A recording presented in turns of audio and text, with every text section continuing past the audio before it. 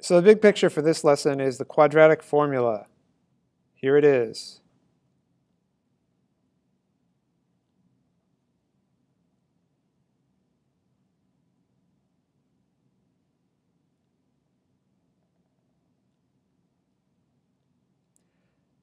x equals negative b plus or minus the square root of b squared minus 4ac all over 2a. This can be used to solve any quadratic equation. So let's give it a go, shall we? I'll just make one up. Hopefully it won't be too weird of an answer.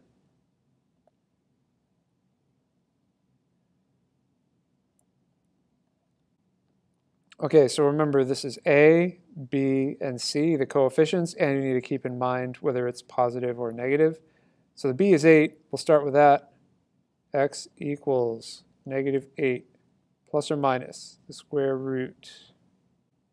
It'll be 8 squared minus 4 times 2, which is A, times negative 4, which is C, all divided by 2 times A, which is also 2. Now we need to simplify.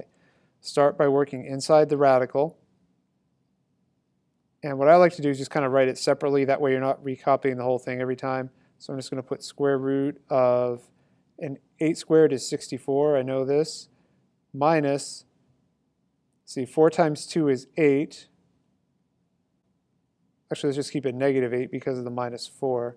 And then times negative 4, that is 32. So it's going to be 64 plus 32. And 64 plus 32 is 96. Okay, so this square root's 96. So x equals negative 8 plus or minus square root of 96 all over 4.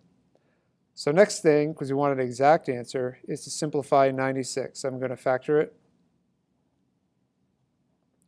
2, 48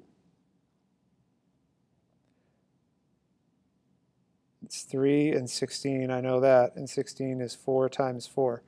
So this is going to be 4 times 4 times 6.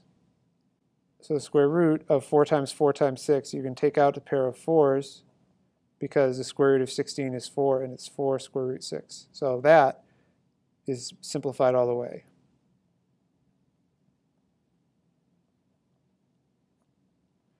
Negative 8 plus or minus 4 square roots of 6 all over 4. This is actually the trickiest part, is simplifying this fraction. What I like to do is I like to just split it up here.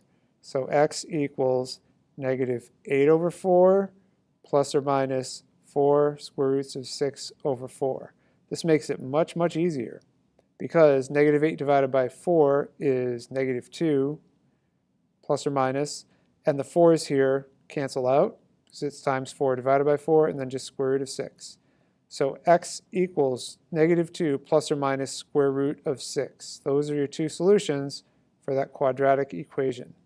And there are other variations of this. Sometimes you get a perfect square in there, so you get integer answers or you get fraction answers.